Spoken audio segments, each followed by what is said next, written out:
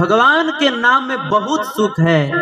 हमारे एक आचार्य कहते हैं कि मैंने जो है ना संसार के बहुत अच्छे से अच्छे मिठाइयों का भोग किया। बहुत अच्छे से अच्छे बिस्तर के ऊपर सोया। बहुत अच्छा से अच्छा मैंने मधुर संगीत सुना। मैंने बहुत बार नारियों के अधरा अमृत का पान किया। मैंने दुनिया का सारा भोग भोगा भाइयों, लेकिन उतना सुख मुझे कहीं नहीं मिला जितना सुख मुझे कृष्ण के नाम में मिला। यही बात हमारे रूप गोस्वामी जी कहते हैं। तुंडे तांडविनी रतिम बितनुते तुंडावली लब्धये। कर्णाक्रोटकादम्बिनी घटयते। कर्णा चेतः प्राङ्गणसङ्गिनी विजयते। सर्वेन्द्रिया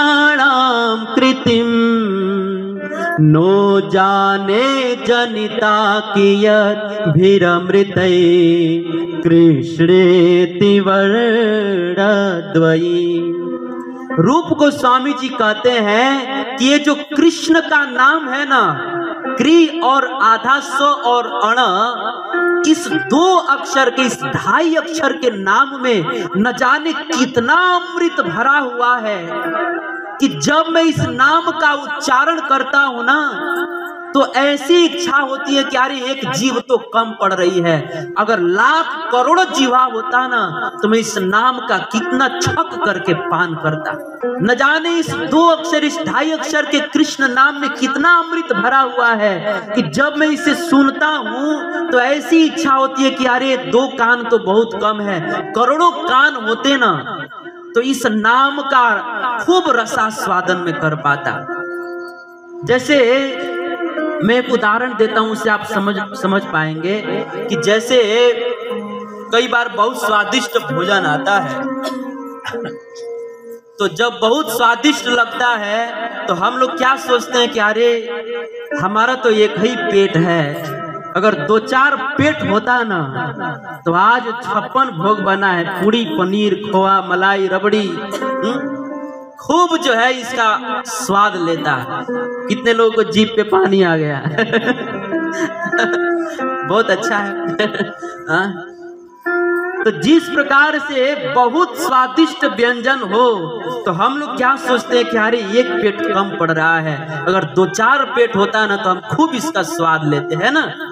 वैसे ही भगवान के नाम में इतना सुख है कि रूप गोस्वामी जी कहते हैं कि एक जीव कम पड़ रहा है। अगर करोड़ों जीव होते हैं ना तो करोड़ों जीव से मैं इस नाम के रस का खूब आस्वादन करता तो कहने का मतलब यह है कि भगवान के नाम में बड़ा सुख है। हम सबके मन में एक प्रश्न होता है कि यही नाम जो है रूप गोस्वामी लेते थे तो उनको इतना आनंद आता था? और हम लोग यही नाम लेते हैं तो हम लोगों को क्यों नहीं आनंद आता है? इसका कारण क्या है?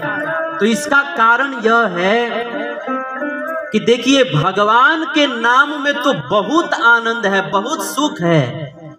लेकिन हम लोगों को आनंद इसलिए नहीं आता क्योंकि हम सब लोगों के भीतर जो है ना विषय वासना भरी हुई है। कूट कूट करके विषय वासना भरी हुई है। इसीलिए हमको नाम में आनंद नहीं आता।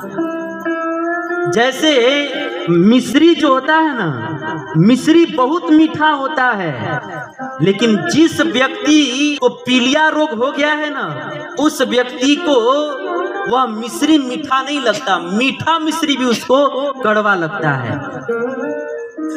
तो जिस प्रकार से मिश्री बहुत मीठा होता है, लेकिन जिसके भीतर पीलिया रोग बैठा हुआ है, उसको मीठा मिश्री भी कड़वा लगता है। वैसे ही भगवान के नाम में बहुत मिठास है, बहुत सुख है, लेकिन जिस व्यक्ति के भीतर विषय वासना रूपी पीलिया रोग बैठा हुआ है ना, उस व्यक्ति को नाम में सुख नहीं मिलता। तो वास्तव में कमी हमारे ओर से है कि हमारे भीतर विषय वासना बैठी हुई है। जैसे छप्पन भोग पड़ा हुआ है, लेकिन किसी आदमी को बुखार हो गया हो तो वो अच्छा लगता है? छप्पन व्यंजन बहुत स्वादिष्ट होता है, लेकिन जिसको रोग हो गया है, बुखार हो गया है, उस व्यक्ति को छप्पन भोग अच्छा नहीं लगता, उसमें आनंद नहीं आता। वैसे ही भगवान का नाम बहुत आनंददायक है, लेकिन जिस व्यक्ति के भीतर जो है, विषय वासना का रोग बैठा हुआ है, अहंकार का रोग बैठा हुआ है, उस व्यक्ति को नाम में सुख नहीं मिलता। तो वास्तव में कमी हम सब की ओर से है कि हम सब लोगों के भीतर इतनी सारी बुराइयाँ, विषय वासना बैठी हुई है। वस्तुतः भगवान का नाम तो बहुत सुखदाई है।